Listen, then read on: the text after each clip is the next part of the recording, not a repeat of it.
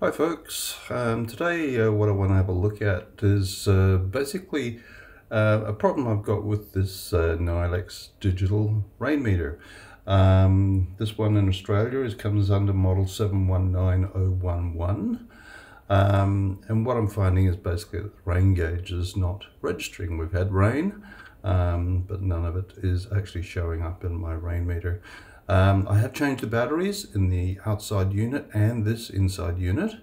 Um, and we can see basically that the second line from the bottom that says out um, is registering temperature. So um, we know that part is working. So there's obviously something up with the gauge itself. Um, so let's go in and have a look. Okay, so here we've got the outside um, monitor doing the temperature and of course hopefully the rain gauge. I've got it secured at one and a half meters above the ground as suggested in the manual. Um, first thing I always do is have a look in the top, basically to see if there's any debris or anything, um, you know, blocking any water going in, which obviously is going to cause a problem. It looks clear at the moment, so what I'm going to do is go ahead and take this off the rod and bring it inside to have a good look. Okay, so here we have the unit, um, both units together indoors. Um, and you might notice now the rain um, gauge is showing 0.7. Um, basically the way it works inside the uh, rain gauge unit, it has a rocker switch. Um, and when each side of it fills up with water, it rocks over to the other side um, and ticks over. I think it's point something, yeah, I'm not sure the actual measurement. Um, and that's how it basically accumulates the rain. So let's see if we can open this unit up and see what it looks like inside. Okay, so we've now got the external rain gauge here. Um, what I do is, and it can be a bit stiff, but you basically just turn the blue part uh, anti-clockwise and it comes away quite readily.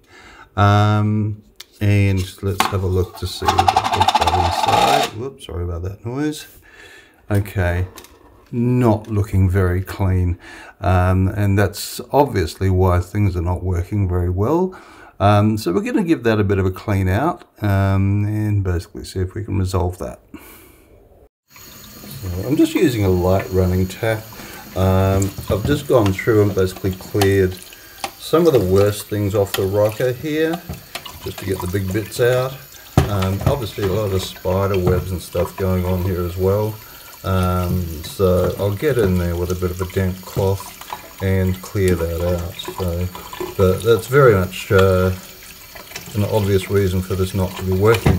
Um, but as you can see, basically it rocks from side to side. When, we, when each side fills up, it weighs down, dumps the water out the side, and then the other side starts filling up. And each time it rocks is obviously a measured amount, which then registers on the digital readout. Quite a clever design. And if you live in Australia, just watch out for any wildlife you might find along the way. I can see the culprit now basically, um, who's basically been building uh, webs and the like in here and stop the unit from working. So we're going to have to gently evict this guy out of here um, and get him to go and live someplace else. Okay, well, it's always nice when a mystery is solved. Um, I was just wondering why it was uh, such a short period of time between uh, this working perfectly and not so much. So, uh, problem solved. Well done. Okay, so we've given the unit pretty much a clean. Um, now, if you're not familiar, the uh, batteries are stored under here. Uh, four size C um, the There's a couple of screws there, well, sorry, one Phillips head screw um, you need to undo to uh, change those batteries. Um, and once the battery's in, there is a little button there, reset button, which you must press after each time you change the batteries. Okay, so I haven't got any further as far as removing the bottom of the unit. I don't think it's necessary. Um, everything else should be quite okay. Um, we also need to go ahead and check the actual funnel itself um, just to make sure it's all free and clear. Okay, I'll just give that a clean up basically to remove the dust and anything else that can accumulate nasties um, inside, which might um, inhibit the workings of the unit. Um, during the process, obviously, we've had a very remarkable amount of rain, 14.5 uh, mil, um, which is obviously due to us moving that rocket backwards and forwards consistently. So um, if I move the rocket once, might answer a question actually. Um, okay, move it across. Okay, there it is. Um, basically it does 0.2 mil um, every time the rocket goes across.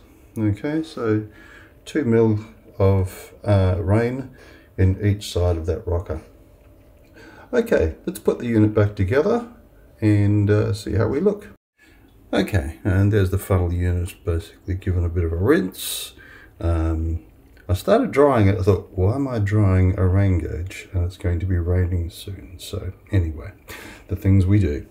Um, okay, so basically each one of these lugs you see here um, should basically slide underneath one of these here. So you just position that anywhere along there basically, um, and when you turn it uh, clockwise, it should lock into position. So we're ready to reassemble and wait for the next rain.